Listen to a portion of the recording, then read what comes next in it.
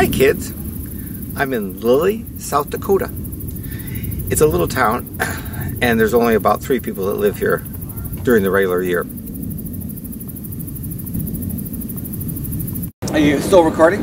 Yeah, but All right. Lots of cars coming. You know, I'm really glad that these cars that are going by didn't knock over my tripod and run me over. It's really sweet of them. So I have my film here and it's just starting to get a little wet.